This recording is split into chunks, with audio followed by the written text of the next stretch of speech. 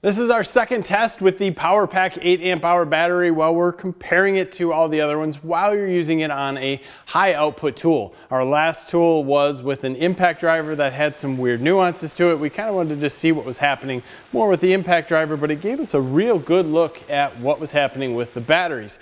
Now on this test, I'm using the DCS 570 and that is a 20 volt, seven and a quarter inch circular saw.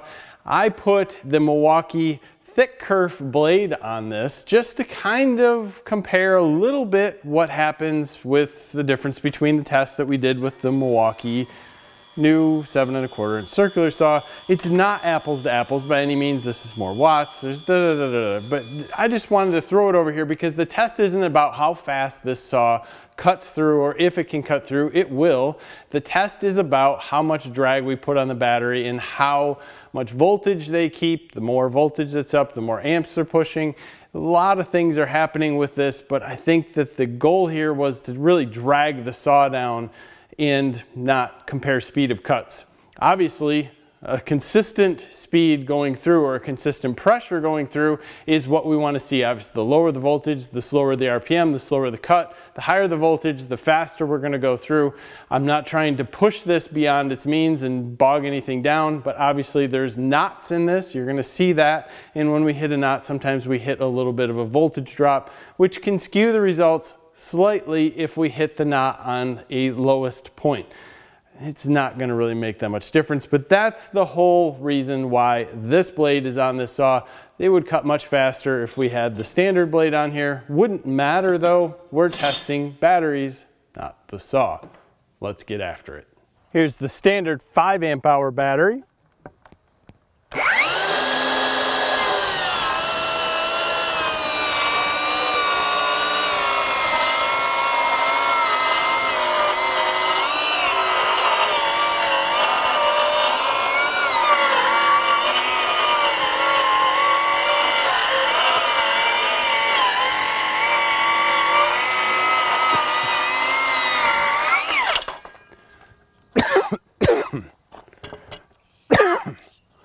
There's the 5 amp hour power stack battery.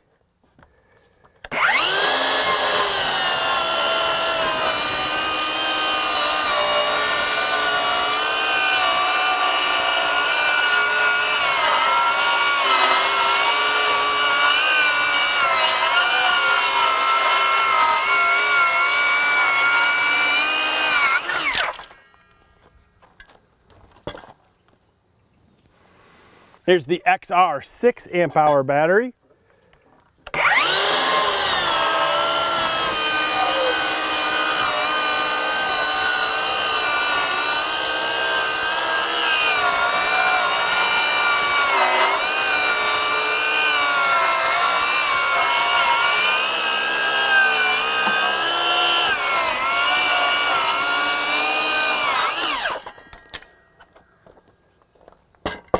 Here's the Power Pack 8 amp hour battery.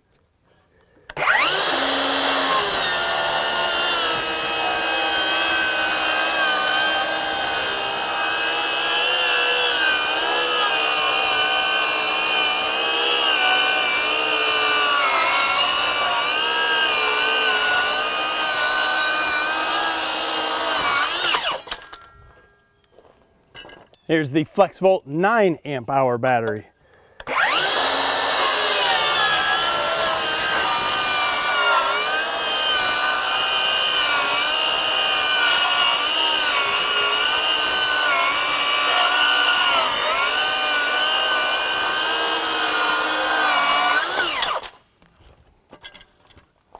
Here's the FlexVolt 12 amp hour battery.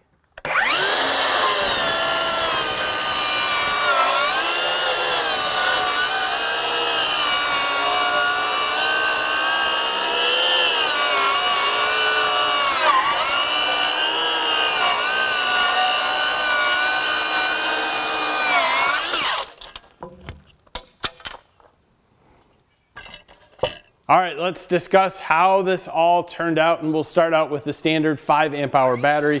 This started out at 20.65 volts and its low was 13.86. We're seeing this with 5 amp hour batteries.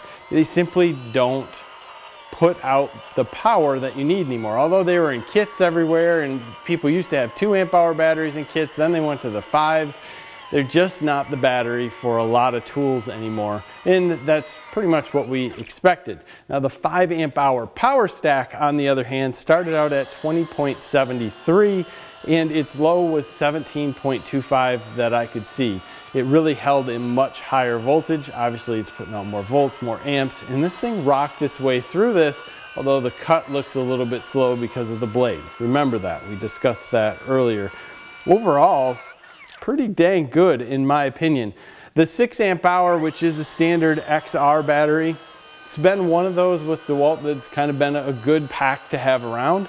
Started out at 20.66 and its low was 17.03. Pretty dang good when compared to the Power Stack battery on this saw very, very close, negligible as far as the testing goes with everything that we have going. I would say that that's almost equal. The 8 amp hour power pack, which is what everybody is looking at, the new uh, battery that's out, 20.70 for the start, 18.13 for the low. A full volt, almost higher than the power stack in the 5 amp hour and the XR 6 amp hour that thing rocked itself out on this and I think that is a very viable battery that's smaller, lightweight, and has a lot of punch to it.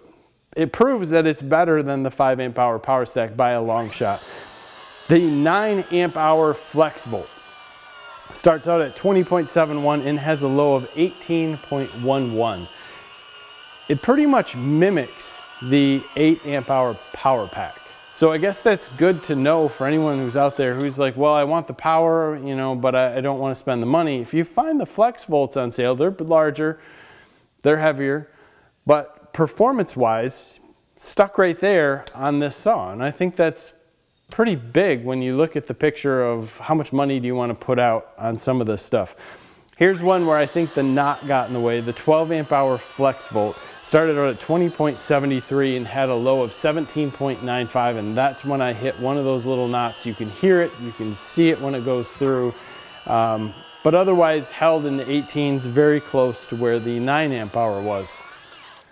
Still, the 9 amp hour hit some knots as it went through. 12 amp hour, hard to say. We're not talking about, again, a lot of voltage drop in that situation. And due to the testing and how we're pushing things through, I'd call that almost a tie. I mean, there's going to be a percentage of error in there, and that definitely fits in there. So if you're looking at what battery to purchase, obviously any of the flex volts are going to be a deal if you can find them. They're a little bit older.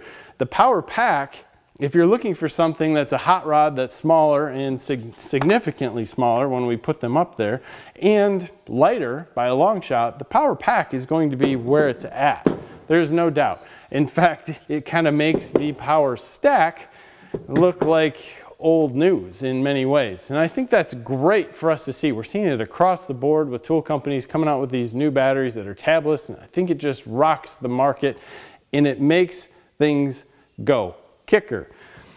The new tools that come out are going to be made for that battery, right? Just as what we said in the Milwaukee video, this Milwaukee saw here oops, didn't run on a 5 amp hour battery in our test. It kept pausing itself through, freaking the saw out.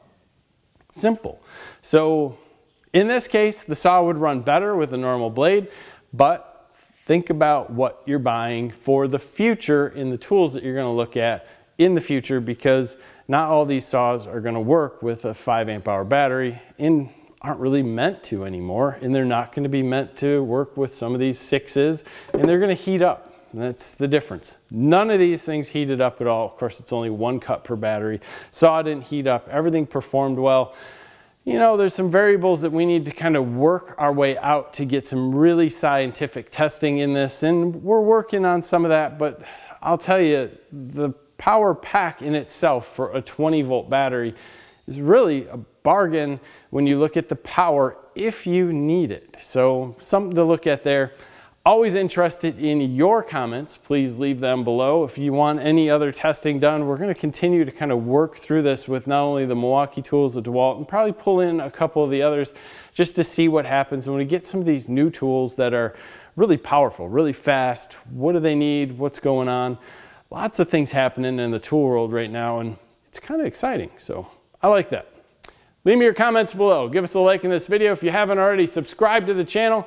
Thanks for your time. Have a great day.